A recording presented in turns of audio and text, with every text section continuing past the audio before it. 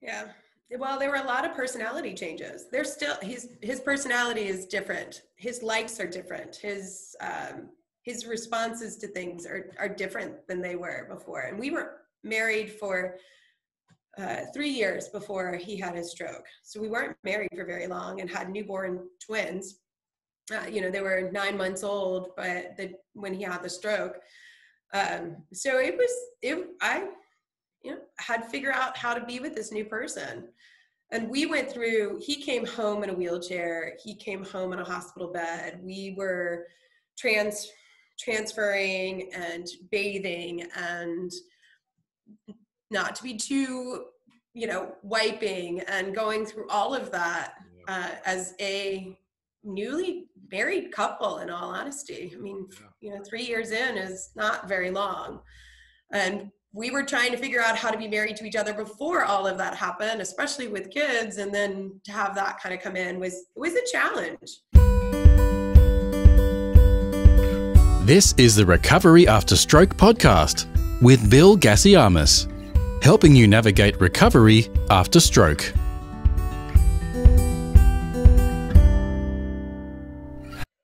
Bill from recoveryafterstroke.com. This is episode 119, and my guest today is Claudia Faulkenberry. As a mum of nine month old twin girls, the last thing Claudia imagined was that Rand, her husband of just three years, would end up also being dependent on her full time due to a burst brain aneurysm. Now, before we get started, if you have ever wondered what else I can do to help you with your stroke recovery, you should know that you can now Get recovery after stroke coaching right from the comfort of your own home. I too am a three time stroke survivor and brain surgery survivor, and I have built for you what I was missing when I was sent home from hospital in the hopes that you don't have to do stroke recovery as tough as I did. Support packages give you access to a variety of tools 24 hours a day, seven days a week, so that you can also work on other areas of stroke recovery that you don't get the chance to at physical therapy or rehab. With tailored support available for less than $8.50 per week, all recovery after stroke support packages bring stroke recovery to you in the comfort of your own home. To try out recovery after stroke support and see if it is right for you, you will also get the first seven days free, as well as a 30 day money back guarantee, no questions asked. As a bonus, you will also get two face to face Zoom support calls with myself to take your recovery to the next level. Go to recoveryafterstroke.com forward slash support to sign up. It won't cost you anything for the first seven days, and you will get a full refund if you are not happy after 30 days. You have nothing to lose and everything to gain. Now it's on with the show. Claudia Faulkenberry, welcome to the podcast. Thank you. Happy to be here. Yeah, happy to have you. My wife, I reckon, has competition now because I was definitely had her in the running for the award of best wife for a stroke survivor ever. but you're very, I don't know, you might convince me, but right now you're a very close second. Oh, well, thank you. Thank you. I, you might want to ask my husband about that, but I, yeah, thank you. Tell me a little bit about what happened to him. What's his name? Rand. Well, his first name is Albert, but he goes by Rand, his middle name and he had a hemorrhagic stroke on the evening of January uh, 27th in 2015. So he was working the night before, had a really late night, and then um, I had gone to bed. He was up watching TV, and the dog woke me up. And uh, later, I realized he was having a grand mal seizure, and uh, went to a very nice university hospital down the street from us, and uh, had multiple surgeries and spent a lot of time there. was it dramatic uh, in that situation at that time? Was it dramatic or was it pretty sort of calm? Did you have time or, or was he out? No, it was, uh, we didn't even realize what was going on. The uh, emergency team came. He ended up actually having um, uh, recovering very well and responding very well to the point where they left and said, if, if you don't feel better, come back, I will come back. So he was complaining as we went to bed of tingling in his hand and a really bad headache. And so we called them back in and, um, he went from there. By the time he got to the hospital, he'd had, um, and before they could get an in just to do a coil, he had a second bleed. Yeah, right. And it was an aneurysm that birthed. Yes. Right? Yes. Yes. Did he ever have any symptoms, any idea that that was sitting in his head? I no, we we think back and notice a couple of different changes that happened. Um, he had some uh, blood that started appearing in his eye, and we just kind of blamed it on allergies, and and he was having some headaches. But again, we were kind of blaming it on lifestyle and allergies. Yeah. Um, we had a couple of episodes of high blood pressure, but it all kind of, you know, if they put a new cuff on and he sat down for a little bit, it was fine. Those symptoms and those things that happened are sometimes things that we can look at in hindsight and say, maybe that was related to the stroke, but sometimes maybe it wasn't. And did you find yourself going back and going, that definitely was something that was related? No. I mean, we just have kind of discussed it a little bit, but there really were no two signs. Now, lifestyle wise, he would we own um, some restaurants and a bar, and he was getting up early to work really early at the restaurants, and he was staying up really late to work late at the bar, and um, eh, you know, I, I think that had a lot to do with it as well. And then genetics is my thought. Yeah. Yeah. I have thought about getting him tested to see if there isn't any sort of genetic link because they're coming up with more and more genes that may be a sign of a increased risk for uh, an actual rupture. But i haven't found a place to do that yet. Yeah. I'm sure there'll be one if it, isn't yeah. one now there'll be one in the next two or three weeks that'll pop up. Yeah. um, they seem to be happening more and more. That's one of the really good things that's happening now with stroke recovery stroke survival um, uh, preventing stroke and finding causes for stroke that previously were unable to be found this new technology is just changing the game and it's happening really quickly and it's making a lot of difference for people who are going through the the what if it happens again i don't know what caused it and the anxiety that is created for people the not knowing about how they got into this situation in the first place. Uh, we've asked a lot of questions and we've asked a lot of medical staff especially as it was going on and we felt like it was not you know everybody just said it's genetics. It seems to be yeah. all we can answer at this time. You had a, a, weak area. A lot of people have weak areas and they don't ever rupture and unfortunately his did. Yeah sometimes it's that way. That's what happened to me. My mine wasn't an aneurysm. It was a faulty blood vessel so it was malformed. So that means it couldn't cope under the regular uh, process of blood pressure, not the high blood pressure or low blood pressure, just the regular blood pressure was too much for it. So in the end, it just gave way and it popped. It's one of the smaller ones, um, but uh, it was genetic. I was born with it. And for a lot of people, these things that I had, which was called an arteriovenous malformation, mm-hmm. they hang around for a long, long time. They stay benign. They do nothing. For some people, they pop. And they don't only appear in the head. They don't only exist in the head. And you, um, AVMs can happen anywhere in the body. And I imagine that's similar to aneurysms because you hear some people have an aneurysm on the blood vessels around their heart or near their heart. Yes. Yeah. The luck of the draw. yes. it's a draw you don't want to be in, but it is the luck of the draw. It is. It is. Well, I, I tease him and, and tell my husband that, um, you know, he's a bull.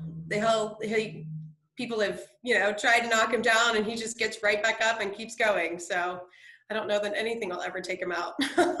Yeah, that's he'll awesome. live forever. It's great. I mean he really has done an amazing job of recovering so. How badly affected was he during that hospital stay and then and then the short time after hospital? What were the symptoms that he was experiencing well, they, because of his ICPs being so high in the hospital, the majority of the time we were there, he was pretty much comatose. They had pretty much put him in a uh, an induced coma throughout that. Uh, they threw everything in the kitchen sink at him during that time. A lot of um, fluid issues in the brain, a lot of problems with um, balancing everything out.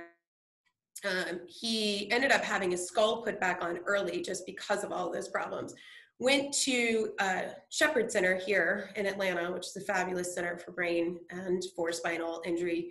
And um, he was very, very out of it. Horrible left side neglect, wheelchair. Um, had a lot of trouble with um, uh, hallucinations and understanding everything that was going on around him. Decided that we had two sets of twins, twin girls, and newborn twin boys, which we don't have, um, and had four dogs. I was very busy in his life, in his mind. wow. uh, and that took time. But as time went on, the brain did an amazing job of, of really fixing and healing that. We had some difficulties because everybody kept telling me to go with it and to go with the flow and to just keep saying, uh huh, uh huh. And I had made a promise to him when we were doing our vows that we would not lie to each other. That even if it was the hardest thing to say to somebody, we would always be as honest with each other as possible. And I, I think that's something that's really served our relationship well in all of this that's going on. It's not always the easiest thing to do, but. So when um, you're being honest with him and saying, darling, you're imagining our kids and the 25 dogs and all that stuff, what was he coming back with? Uh, he kept saying, "But I know we." I he had names for the twin boys, Andy and Jacob. We had just brought them to New York in his mind to show everybody, all of his friends in New York, and wow. I, I, it must have been something that was going on in his mind while he was in that induced coma, because he had an entire story together. And we actually have really good friends, and we only allowed one of our very good friends into the Nick uh, the neuro U, in, you know, intensive care unit with him, and she has a husband named Andy and a, a child named Jacob. And I think that's where he got the names of the kids, the city. And they were very good friends in New York. So I think that's where that came from too, you know. But it comes around. I mean, he was seeing robots and samurai swords and all sorts of craziness. Um, and then the left side neglect, because the way the brain bleed was he had a lot of trouble losing things. So something you would see, would see it, and then it would disappear, and then he would see it and see it, and it would disappear again. Um, and that was very hard for him to to grasp and understand. Um, but that seems to have corrected itself as well. Again, the brain has been fascinating to me. Yeah. So a lot of that would have been as a result of the secondary part of the impact of the brain. So the bleed usually affects, you know, one really precise point where the bleed's occurring, and then there's this outer area that gets affected. It kind of is collateral damage to what happened in that little section.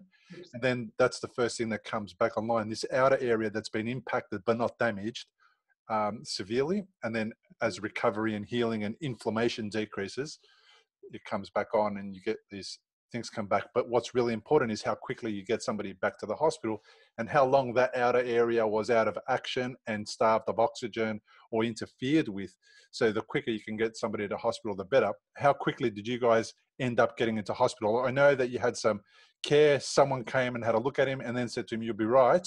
But then, how quickly after that did he end up going? Uh, I think we called them back within an hour. It was not very long. Uh, and so they came back in and I asked him a bunch of questions. He walked out of our house, told me where his keys were to get move his car and all that kind of call my parents, get them over here, blah, blah, blah. And um, we actually live less than a mile away from the hospital. So once the ambulance got there and got them, got him in, now the process of scanning him and looking at it and then deciding to coil. And then by the time they were ready to get him off to the or to coil him and having a second bleed um, you know there was more time within their hours uh, you know. But um, i think having such a fine institution right down the street from our house really saved his life and made it so that he can be back at work and walking and driving and all of those things. And then obviously the rehab center that we went to yeah, and obviously you. and his parents and our children. There's a lot uh, that goes in. It takes a village, right? It does. It sure does. So, what was it like for you, though? Was it scary? You seem like a very upbeat, positive person, and you probably pushed through most issues and dramas in life. But what was it really like? Uh, it's terrifying. Uh, I knew it was a brain thing by the time he was leaving, um, and I was worried it was a brain tumor. In all honesty, I work in in cancer uh, in the medical field. And so I, of course, went to a brain tumor. Um, by the time they told me it was the second bleed, I really, I broke down. I lost it.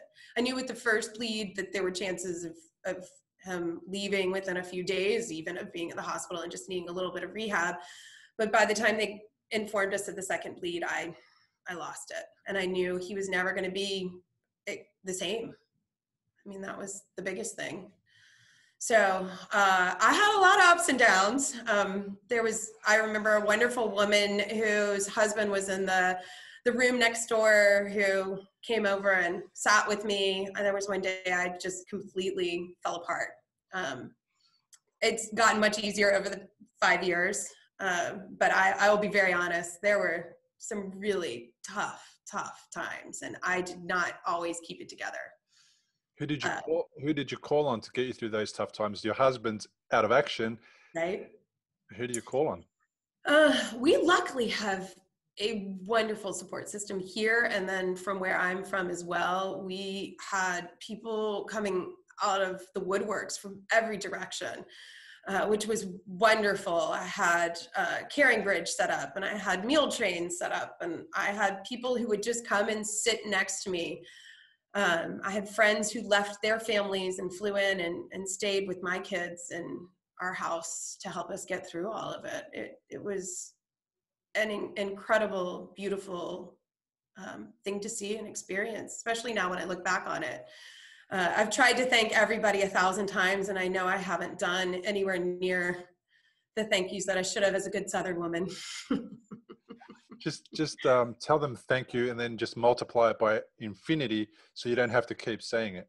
Right uh, yes definitely. And, and i i had moments of realizing everything that went on and happened and, and that i'd forgotten about too. So luckily our kids were really really young. They don't remember any of it.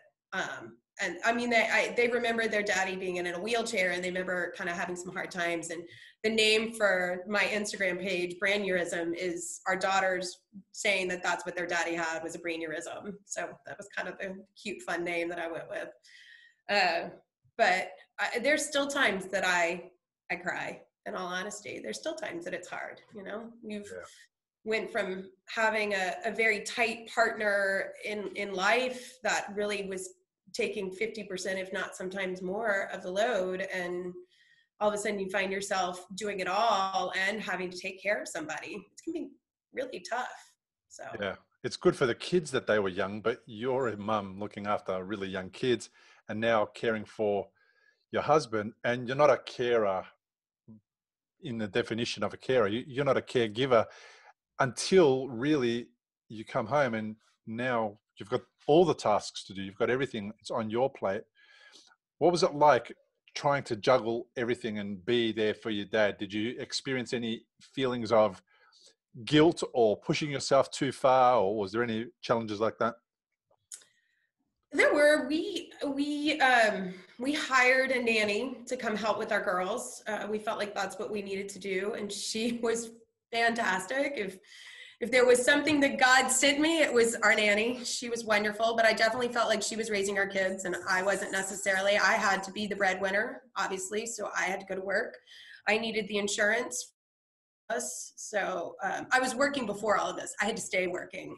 Mm. Uh, and then a lot of times the tasks that had to be done at home were all on me as well. So it was it was tough. Luckily, one great way to rehab your loved one is to give them things to do around the house. So um, Rand took on some some of the things pretty early on of washing clothes and um, you know getting back involved in, in cooking, and we're really pushing that with him, especially something I have to be there with him for, but um, working closely with that to get um, more of a partnership going again in that. It really, it really is part of the rehabilitation. I remember being in rehab, and they took us into a.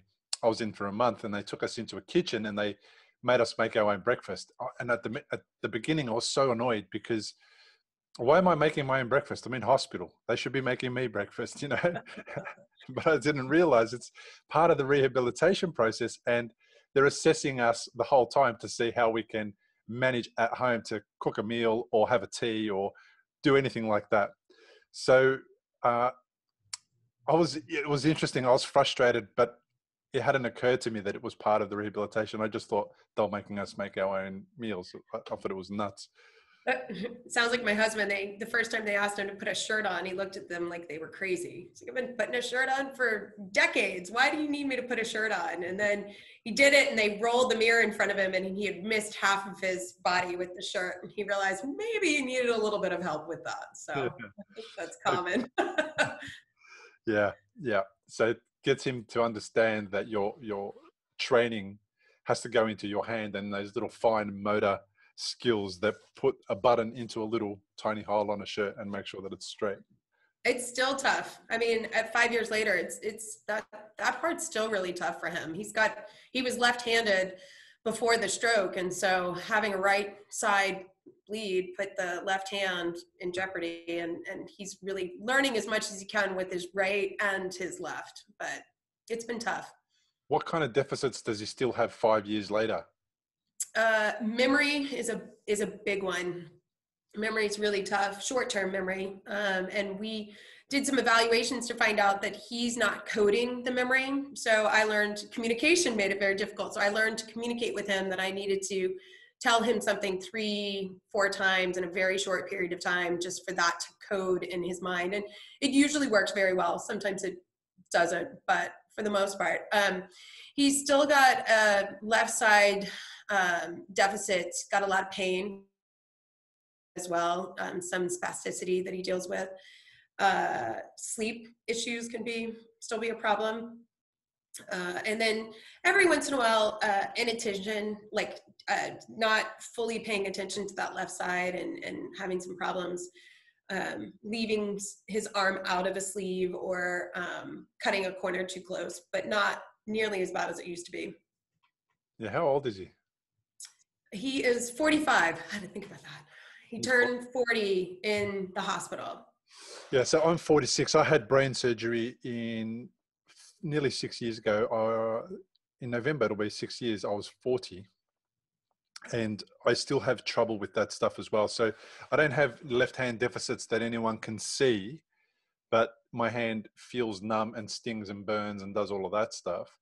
But then when I get tired, if I'm not aware that I've just become tired, I will tend to lean towards the left. So when I walk through a doorway, if I'm not paying attention, I might bump into the door, yeah. the door frame. And sometimes when I go to take my pants off, I'm one of those really. Uh, I do two things at once. So I take my pants off and my socks off at the same time, right? Fascinating. So I have this very good this amazing skill, right? But my left, but sometimes if my left sock doesn't come off my left foot, I won't know that it's not off. Right. Right. So it feels weird. It feels strange. And if I don't make myself look down, I might get into bed or wherever and not know that that sock has come off my foot or is still on my foot. So there's some of the things that sort of still hang around, but they have got better and better as time goes by. And but what I think I've noticed more than anything is that I'm noticing my deficits less. So if I'm having a productive day where I'm doing things, speaking to people, going places, I'm noticing them less, which means maybe I'm getting used to it more, or I'm finding ways to adapt and get around them. I, I, I, believe Rand's adapting. He's finding different ways to kind of move around and and and understand and being conversation was difficult for him initially, especially multiple conversations. So socially, we were used to big parties and going a lot of places, and he would find himself sitting. I would find him, or he would find his way into a corner and just kind of sit because it was overwhelming for him. Uh, so being able to communicate and listen and and make sure he's not interrupting and staying on the same topic and and really understanding the conversation we found in the beginning had to be more of a one-on-one just another couple coming over for dinner. And even in that meal he might get up and go into the bedroom and just lay down. Uh, he he just couldn't handle it and wouldn't even realize he was really doing it. Um, it just was something that he knew he needed to do. Yeah, it's just brain overwhelm. It's just mm-hmm. too many inputs coming in at the same time while the brain's trying to recover, while the brain is trying to heal, while it's trying to work out what's going on with all the missing bits and all the things that it needs to rewire. So it becomes overwhelming and then also becomes energetically tiring because that takes a lot of physical energy um, because it, it just does. I'm not exactly sure why, but the brain is one of the biggest users of energy in the body. So when it's trying to do too much and trying to recover at the same time, it can't cope. We're trying to do the same tasks we did before with a portion of our brain not actually there. And therefore it's, you know, finding all these difficulties. So the best way to help is to go and uh, step away from all the external uh, issues, the things that are causing that that challenge, and then go and rest and even sleep it off, and then recharge the brain, get more energy, and allow you to come back. You know, and that kind of that, that was my routine as well. And I often, well, not refused, but avoided going to loud places, uh, even family and friends and parties and that kind of stuff. We'd be there for a couple of hours and it would be, let's go home. I've had enough. Yes, that's still, uh, it's gotten better, but that's still not uncommon for that to happen. And then a nap a nap in the middle of the day is still pretty common as well. He, um, what about apathy? Do you have any problems with that? Um, I don't have any problems with it, but I, but it was something that you have to go through. You kind of do have to go through. I did. So my issue was that if somebody came to me to whinge about, I don't know, you know, the, the length of the blades of grass that the the guy who cut the grass didn't do the, the right job or something like that, they'd be like, move on like whatever you know? You're wasting my my brain's processing ability with junk and stuff that does not interest me and shouldn't interest you. Just get over it and move on with your life. So i was kind of apathetic in that way. I had no time for small talk and rubbish talk that didn't make it worthwhile for that person to be around me. Now that it was usually personalities that I did that too. So people that were like that anyway are the ones that I became apathetic to. I kind of made it obvious. I stopped pretending that I was enjoying their conversation and I just put it out there that I'm not interested in hearing what you got to say, basically. What about before the brain injury? Would you have felt the same way? No, I was kind of, of polite. I was polite. I, used to try not to um, annoy people, especially if they were kind hearted and they had good intentions, I tried not to annoy them and be nasty. Um, and if I didn't have the permission to correct them or bring them in line, I wouldn't. I'm somebody who I've learned to be a coach. So I coach people through some, you know, challenges in their life, but not every opportunity is a coaching opportunity. You don't tell people what you're thinking all the time, especially if they're nice and they haven't given you permission to give them that kind of feedback, you know? Okay. My husband would have told him off. yeah.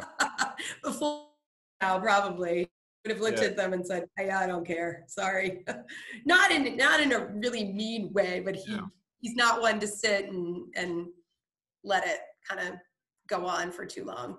Yeah, I, I didn't. My I think I annoyed my wife a few times because I didn't give her the kind of response in certain situ- situations that she required um, because of probably multiple reasons. Either I couldn't, or uh, I didn't have the energy, I didn't want to, or I didn't want to waste my energy. Like there was a lot going on in that healing and recovering brain where I was trying to protect myself as much as I could. So if I appeared, you know, apathetic, it came across the wrong way and it pissed people off. But it wasn't about them; it was about me, and I couldn't I couldn't make it about them. They had to deal with whatever issues they were feeling their own way and they had to overcome it if they could. If they couldn't, well, that was all right too, you know, whatever. Right. No, I,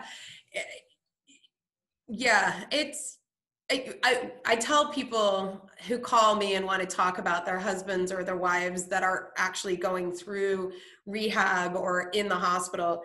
And I say, and, and I mean this, and I'm going to say this, I hope it doesn't come the wrong way, that a brain injury is the most selfish recovery of anything I've ever known. And it took my husband three years to look at me and say, How was your day? Are you doing okay?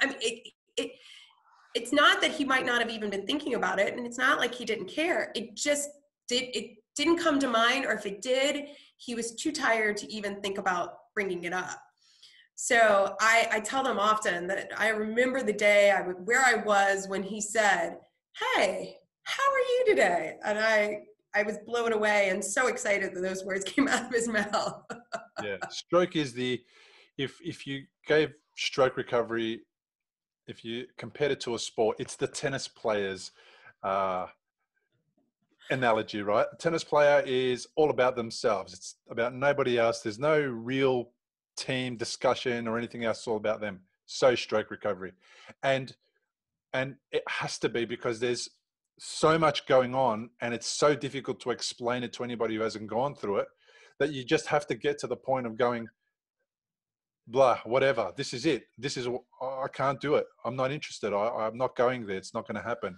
You have to be extremely selfish. And that I know for a fact makes it extremely difficult for caregivers because caregivers are dealing with this new version of their partner or their loved one.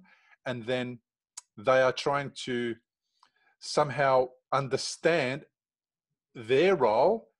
But then why is this person behaving differently to me and then they've got to deal with their own emotions and it seems like what we're doing is not caring about their emotions and that might be the case like we might not be caring about it but not because we don't care it's mm-hmm. because we can't care right so hard to care for what other people are going through when i remember the first day of rehabilitation 10 not even 10 minutes of effort to recover my ability to walk again had me out for the entire day.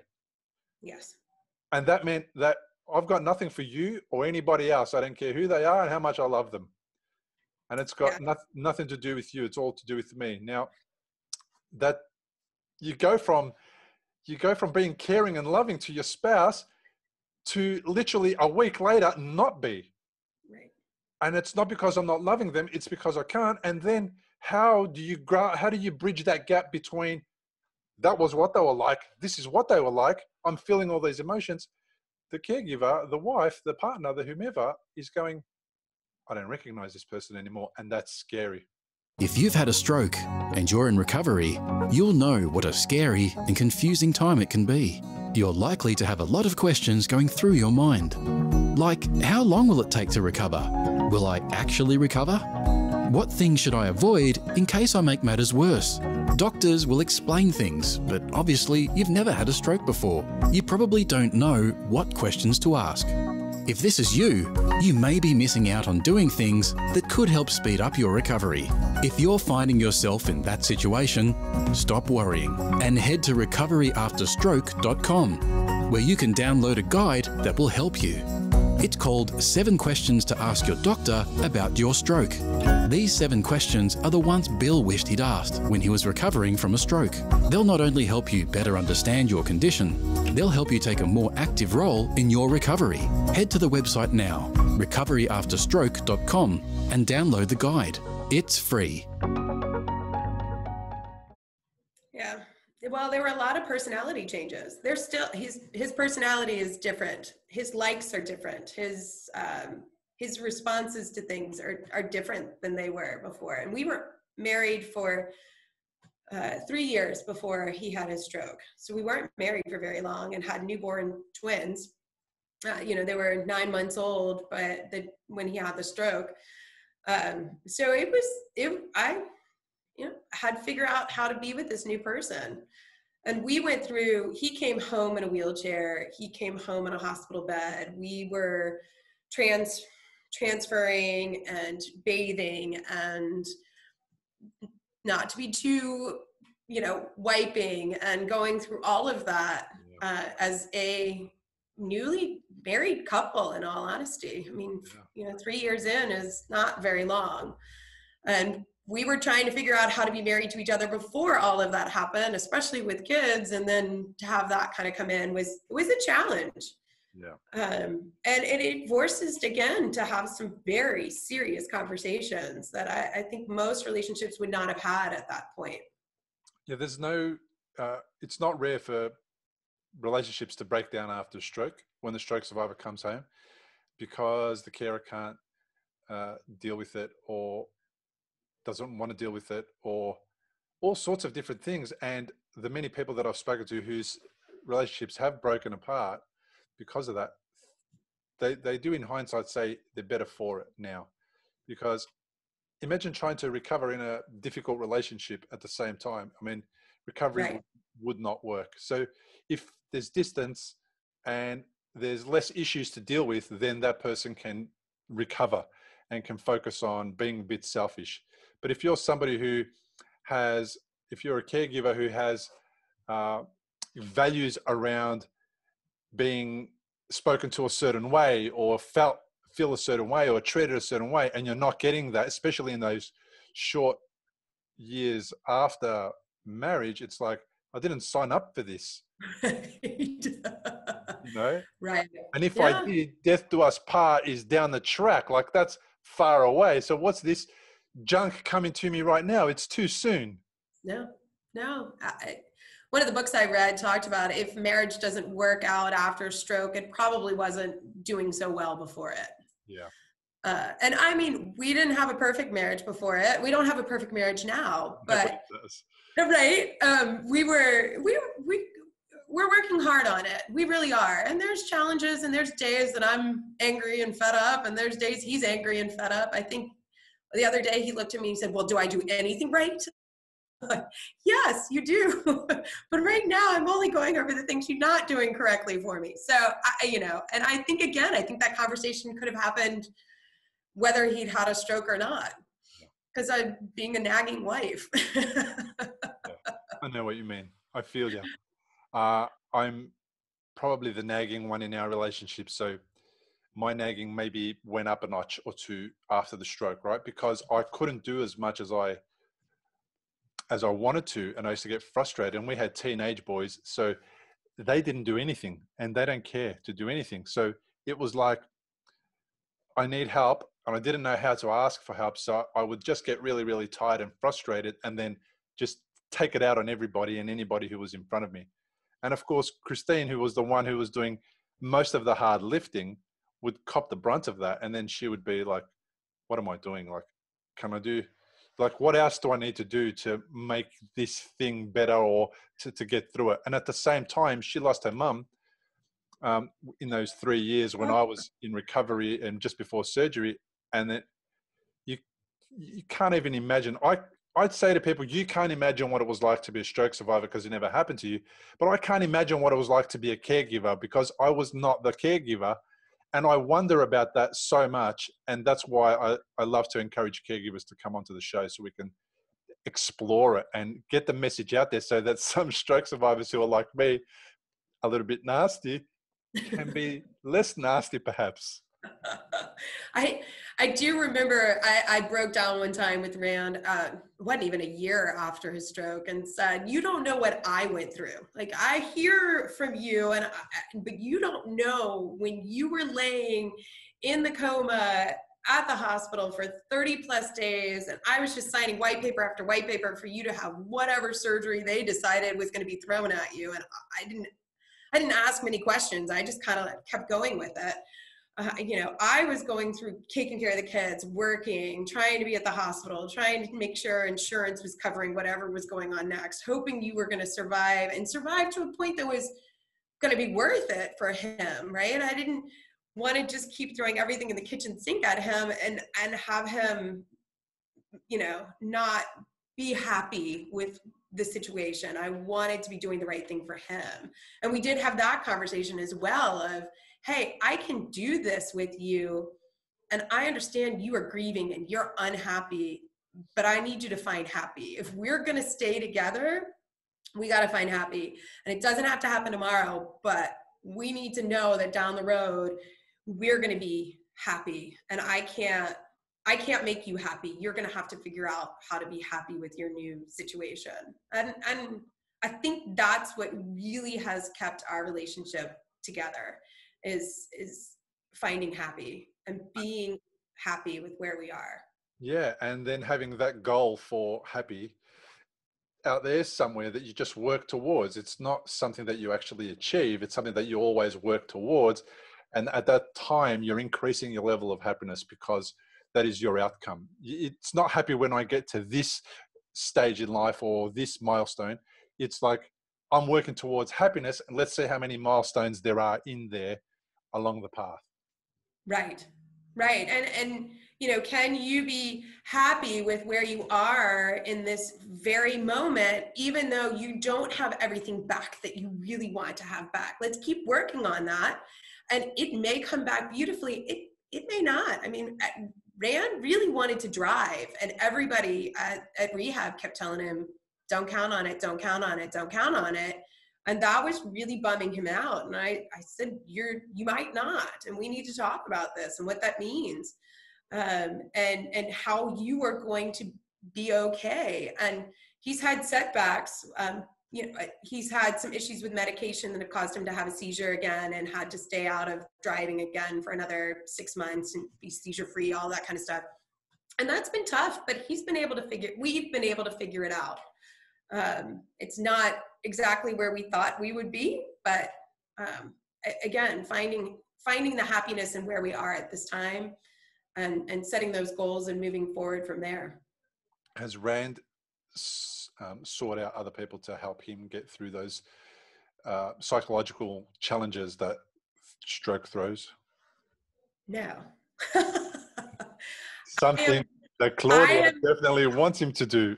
Uh, yes, I am the, uh, if you haven't noticed, the outgoing uh, kind of go getting. Um, he is um, more of the introvert and um, more of the I can do it myself. I don't need any help kind of person. He does. I mean, he pushes through what he wants to accomplish.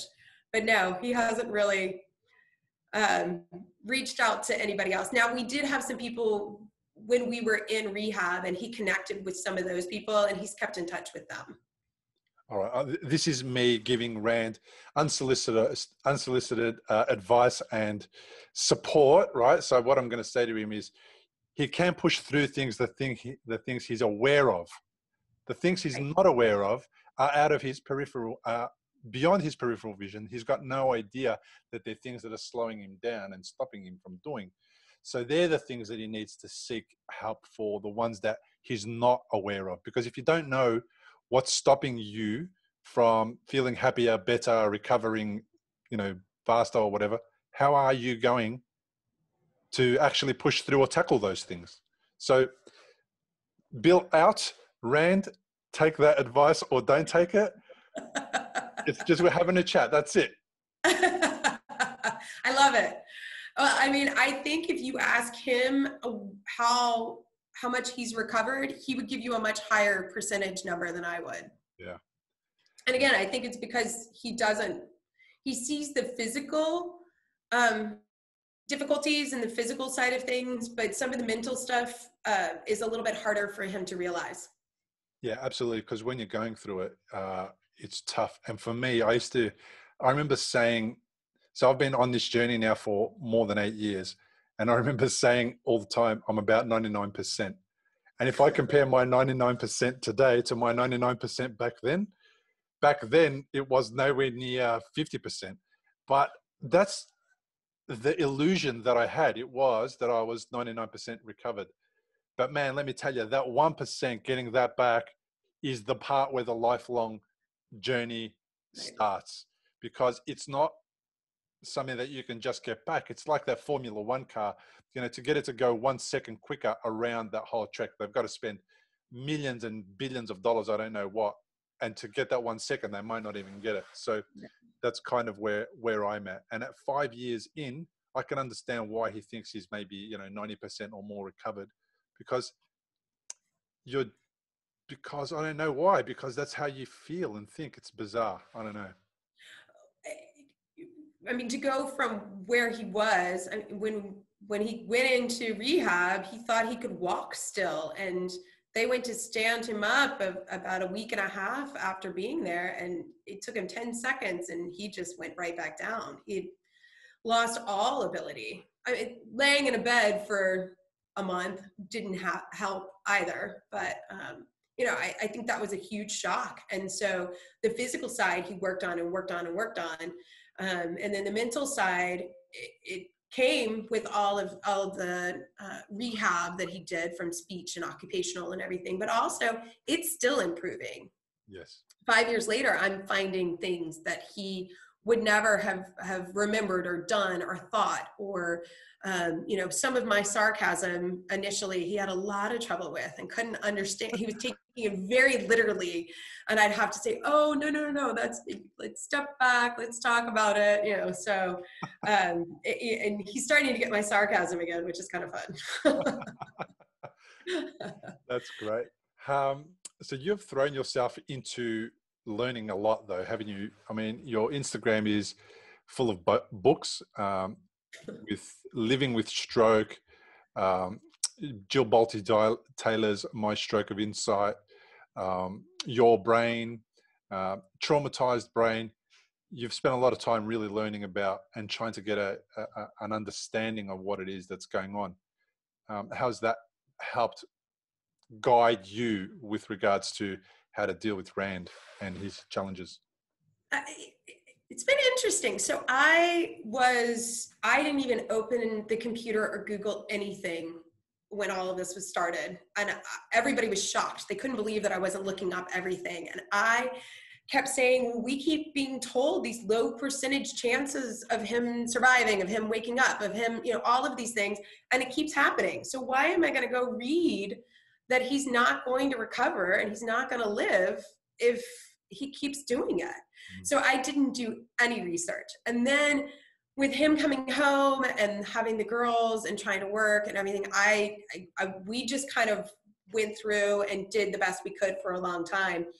And I have been asked to be a part of a peer mentor program that's getting started at the rehab center that that Rand went to, and that kind of got me back into it. And I was answering the same questions over and over again to each person that I spoke to, and I thought, you know, wouldn't it be nice to have some videos that are already done up so that if somebody else has experienced this that I don't get a chance to talk to, listen to those videos and learn from them and and hopefully get something from it. And then I found I was learning from it more than probably anybody else is. This is helping me more than anybody. And I started kind of reading books to try to find books to help better Rand's brain or my understanding or some of the small issues that we're having still that um, I could maybe learn a little bit more and make some differences from that standpoint. So we are drinking more water and eating a little bit better and decluttering some places and um, you know, I did a, a, calendar up that I had done initially when we first got home. It, it was more work for me and more stress and poor Rand, it, it didn't even know it existed. And I would show it to him every day and we would talk about it every day. And it's still the next morning, wake up and had no idea it was there. So I think some of the things I initially started didn't work so well. So now having that ability to go back and to do these things to make our communication and our relationship honestly better and hopefully Rand better in the long run. And me. I mean, drinking more water is great for me too. And yeah, decluttering. And kids. Yeah. I feel better. Yeah, so. of course. Yeah, I, I started out sharing these types of stories because I thought it was going to help other people as well. And I did it partly just to um, get a, a better understanding as well of what the complex nature of stroke is because when you hear a stroke story, it's similar and as in something happened, but then after that, it's completely different for everybody. So um, I found that every time I do an episode and release an episode, that it does help me more than I expected that it would, and it was it's a really great outcome from doing this whole. I'm going to make it about somebody else, but no, actually, what it is, it's really about me. That caught me off guard. So I hear that that's similar to what's happening to you. You thought you thought you were going to go help others, and now here you are getting this beautiful gift back. Very true. And I, I told my mom, I said, I think I think this is better for me than it is for anyone else. You know, we're I'm I'm pushing more date nights and and asking Rand to do more things and and committing myself on on social media to work on things and and having to follow through with it because I'm being held accountable in my own mind by I, I think I have 200 followers. So by 200 followers. So yeah, 223 followers. You'll be surprised how quickly that grows because the stroke community is pretty big. It's pretty active on Instagram and they looking for people that are going to share stories about their version of recovery or what it is that they're going through because we can relate to it, but also we benefit from it. So um, it grows, it grows rapidly, and um, and they're really active. They love to engage and share what it is that they're going through, and um, and that's really really helpful, especially when you make a post like I did recently, which was about Are You Okay Day, you know, I saw that. I loved it. I thought that was great. Yeah. So from that, what actually came was people stepped forward and sent me a private message and said, "No, I'm not okay." Uh. So that was amazing. So those people were in New York on the other side of the planet. I'm in Australia. I mean, we couldn't be further away. But to get that, and then to be on a uh, uh, to be on a Zoom call with them within 10 minutes of them sending that is really amazing because that's why I did it so that people know that they can reach out. So then what that shows me is that yes, there's a lot of people doing the physical recovery. Very few of them are really going and doing the emotional recovery, and there very few of them are doing the, the, the psychological recovery. And that means you're only doing one third of the recovery. If that's all you're doing, you're missing out on these two important parts. The emotional recovery and the psychological recovery are the most important parts to to healing. And I and I say that from experience because I think day, so my first bleed had been in hospital for seven days, and then on the tenth day from the from being admitted to hospital, I was in a counselor's office and seeing a psychologist. I, I just got onto it straight away, and I think that the the mindset that it gave me seeing this counselor and psychologist for such a long time afterwards was able to stop me from having the anxiety episodes was able to stop me from having these thoughts in my head about what if it happens next. And i didn't even know that it was going to happen another two times and then i was going to have brain surgery. But it just put all that junk out of my head and then it made me start to focus on on emotionally what i needed to do to heal and what i needed to do was i needed to apologize to my wife more. I needed to tell my tell her i loved her more. I needed to you know do the same thing with my family extended family friends people who came to see me uh, the messages. I needed to actually express that stuff so they knew in case i did kick the bucket that uh, bill hadn't left anything unsaid. We we we're not going to have any regrets. And that's kind of what what i really worked on because i got the most enjoyment out of that i know i got i got a lot of enjoyment out of being able to walk again right but I got the fuzzies, you know, about doing the emotional stuff. And that was something I hadn't really experienced much before my stroke. Right, right.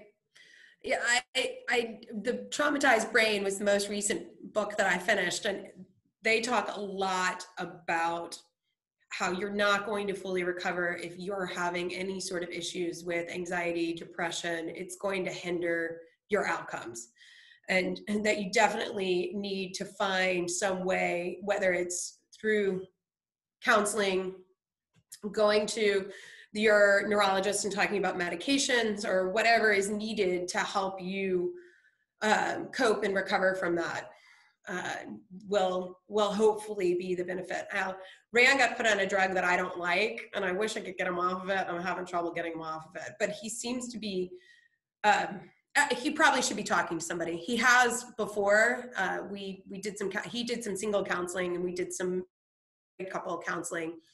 Um, but it's been a while. Yeah. I always love counseling. I think it's a good thing. yeah. Look, it's tough for guys to do. I know a lot of guys struggle with it because they're, they they they fear being emotional or you know having feelings and feeling things because they've been raised being told you're tougher than that or get over it you don't need to be crying and all that kind of junk. Seen as weak kind of thing. Yeah. Yeah. yeah. But um, the the relief that you get, like the pain, is it's more painful in the not going there. So in the in in that stage of thinking about, oh my God, it's going to be difficult if I go there. You know, I can't be vulnerable. All that kind of stuff. Like before you go there, it's so much harder than when you're actually there. when you're actually there, you get relief.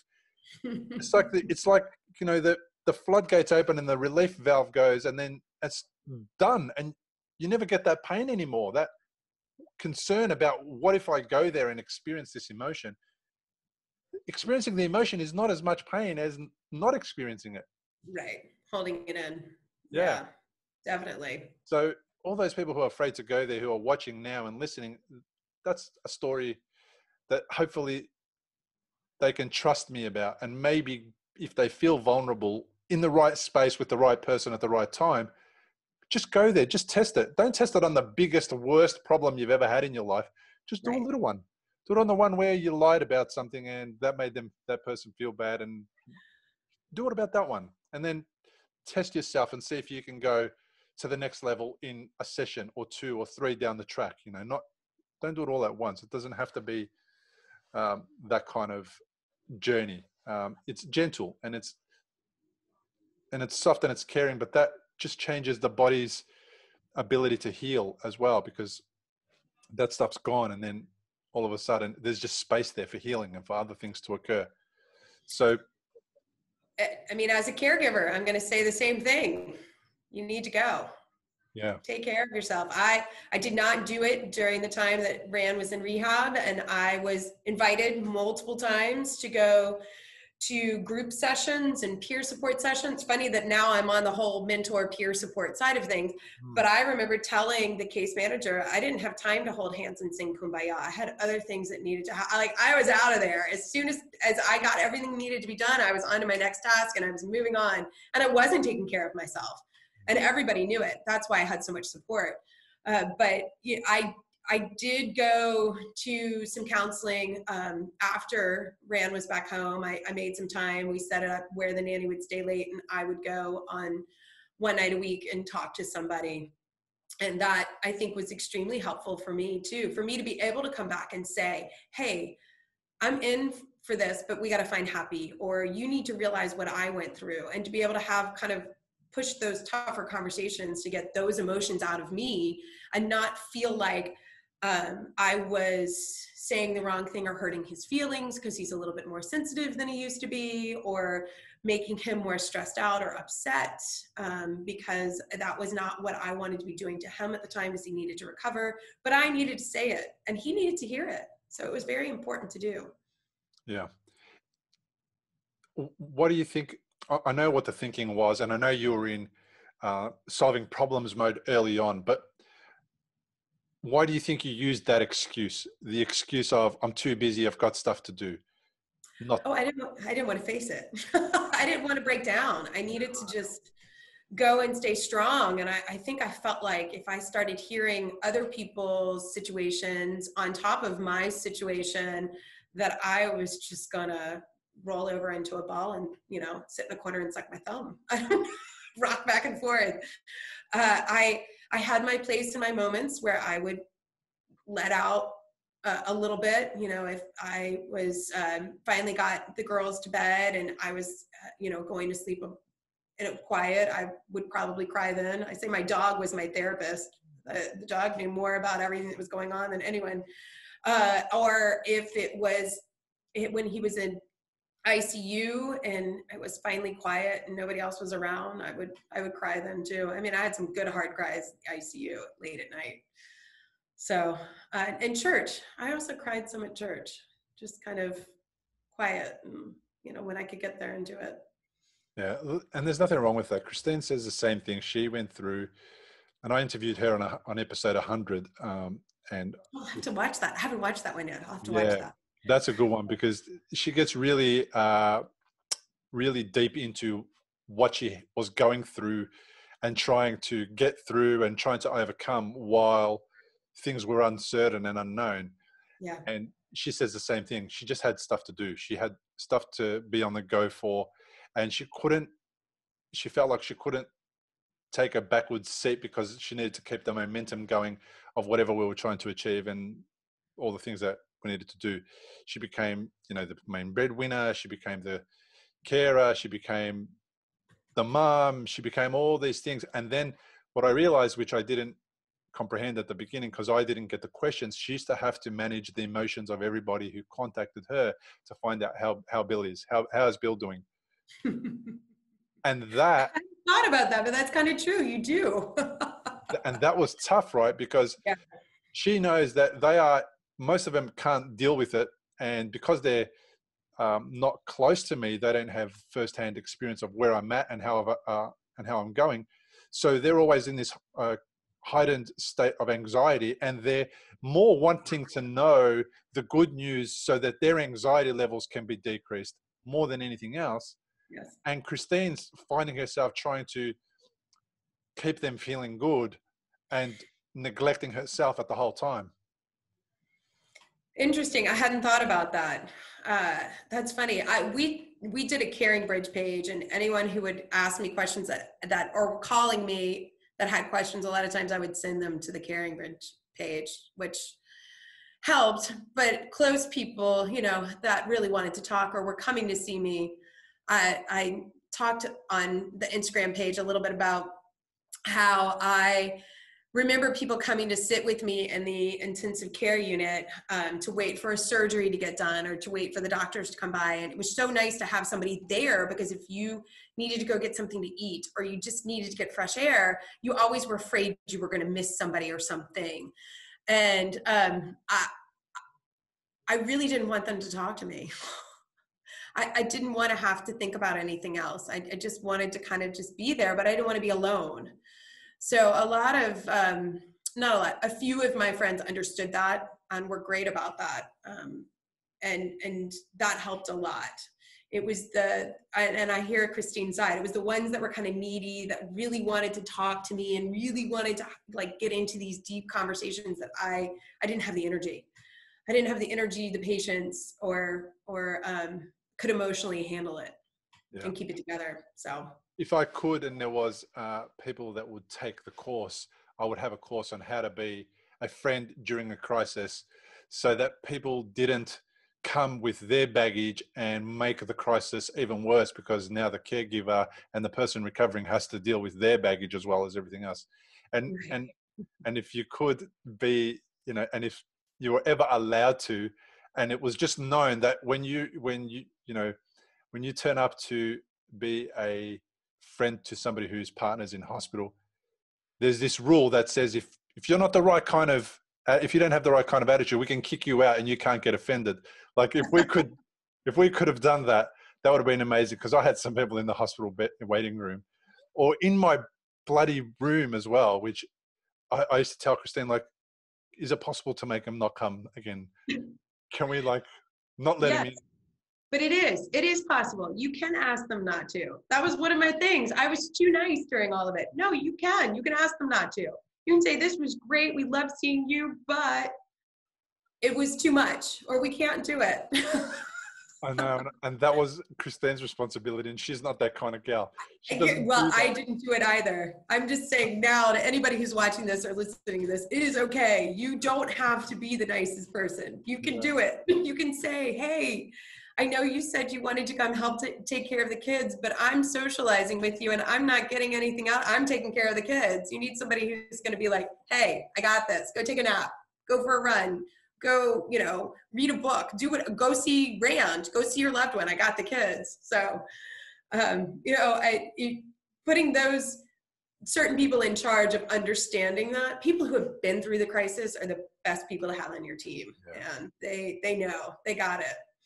Yeah, that's part of the reason for the podcast as well is to sh- to paint a picture of it's pretty bad at the beginning and then it gets better. As time passes, things change and things improve, and you adapt and you learn and you grow and and it gets better. So hopefully, when people are listening, that's they're listening with that frame in mind and they're they're getting the whole. Oh, okay, all right, I got that shitty part at the beginning, the first ten minutes or so, but then the rest of it is about what we needed, what we grew from, how we learned, how we adapted. Hopefully, that's how your story has evolved as well. Yes. No, it was horrible in the beginning, but we've we again. I, I never thought um, I never thought he would be so so well back into what we were doing before. I mean, it's a little different. It looks different, Mm. but it's the same. You know, it's nice. What has stroke taught taught you about you though? What has his experience taught you about you? Oh, that's an interesting question. Um, I um, I can get it done when I have to get it done. I'm definitely a um, multitasker. I'm the organized one. Um, I uh, I yeah. I don't. I I, I think that um, I'm surprised at what I was capable of doing and I think I, I've surprised a lot of people of what I was capable of doing. I wasn't a meek person before, obviously, but um, I, I, I think that what we've been able to accomplish and do, and have um, two young girls who have gotten through it as well, and to be happy and easy kids that um, don't really see a difference. Um, I think that's been pretty amazing as well. Mm. I couldn't have done it without my support. I mean, Rand's parents lived down the street. My parents came. Our friends, uh, you know, my brothers. I couldn't have done it without everybody. Yeah, sounds like there was a lot of things, a, a, a very good foundation there to to support anyone through some sort of a crisis. Anyway, so it sounds like that. Whether you guys planned that or it just happened, to have so many people so close to you makes a massive difference in sharing um, the responsibility for each other. Really, that's what it is. It's not about one person doing it on their own. And I know life these days, you know, does make it hard because we live in cities and we live in all these weird situations that are so different to perhaps you know the village of of the old but it's really what's required isn't it it's really a village It is. It is. We needed it for the girls. Having twins, we needed a village, and then on top of that, so it was kind of in place from that. Um, and then, you know, I I didn't realize Rand's friends were so amazing. I knew I liked them; they were nice, and I enjoyed being with them. But the the day that he went into the hospital, he was in surgery for I think seven hours, and I sat in that waiting room, and I remember, God, within the first thirty minutes all of a sudden his friends just started walking in in their suits with you know they just came in and they just sat down. And they didn't even really say much but I, I would think that there were 10 guys in that room. They all dropped everything they were doing and they just showed up to sit with me. And i didn't know them very well. It still brings chills to my my arms and, and tears into the back of my eyes and the idea that these guys dropped everything just to come and sit with me for seven hours to wait and see what was going to come out of um, of the surgery and how their friend Rand was going to be. It was, it was a beautiful thing. that is amazing that is amazing the best kind of support is that support which is just there in body and nothing much else because you don't need to talk at that time you don't need anything. You just need people that you can lean on if you need to lean on them. And the fact that they were so aware that they didn't have to talk, maybe they're just men and they don't know how to talk. It was men. It was great. That's exactly. It's kind of might have been guys, but it was great. Claudia, I've really enjoyed our conversation. Thank you so much for being on the podcast and sharing your story. Um, wish Rand all the best for uh, his recovery from me. I haven't met him, but um, hopefully um, he gets to listen to this and he gets to really understand how much you care for him, what you went through, and you know what you've been prepared to do, um, and how much his recovery is important to you. Thank you. Yes, I've enjoyed it, and I he's definitely going to watch it. Well, thanks for listening to this episode of the Recovery After Stroke podcast. If you like this episode or any other episode, please hit the like button if you're watching on social media. Give us a thumbs up if you are watching on YouTube. And give the Recovery After Stroke podcast a five star review on your favorite podcast app. Doing that will make the podcast more visible to other stroke survivors that are doing it tough right now. And it could help them feel inspired and feel better about the road ahead. Thanks for tuning in.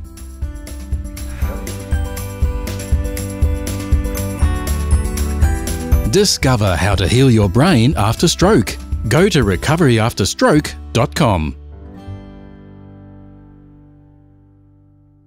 Importantly, we present many podcasts designed to give you an insight and understanding into the experiences of other individuals. Opinions and treatment protocols discussed during any podcast are the individual's own experience, and we do not necessarily share the same opinion, nor do we recommend any treatment protocol discussed. All content on this website and any linked blog, podcast, or video material controlled this website or content is created and produced for informational purposes only and is largely based on the personal experience of Bill Gasiamis. Content is intended to complement your medical treatment and support healing. It is not intended to be a substitute for professional medical advice and should not be relied on as health advice. The information is general and may not be suitable for your personal injuries, circumstances, or health objectives. Do not use our content as a standalone resource to diagnose, treat, cure, or prevent any disease for therapeutic purposes or as a substitute for the advice of a health professional. Never delay seeking advice or disregard the advice of a medical professional, your doctor, or your rehabilitation program based on our content. If you have any questions or concerns about your health or medical condition, please seek guidance from a doctor or other medical professional. If you are experiencing a health emergency or think you might be, call triple zero if in Australia or your local emergency number immediately for emergency assistance or go to the nearest hospital emergency department. Medical information changes constantly. While we aim to provide current, quality information in our content, we do not provide any guarantees and assume no legal liability or responsibility for the accuracy, currency, or completeness of the content. If you choose to rely on any information within our content, you do so solely at your own risk. We are careful with links we provide. However, third party links from our website are followed at your own risk, and we are not responsible for any information you find there.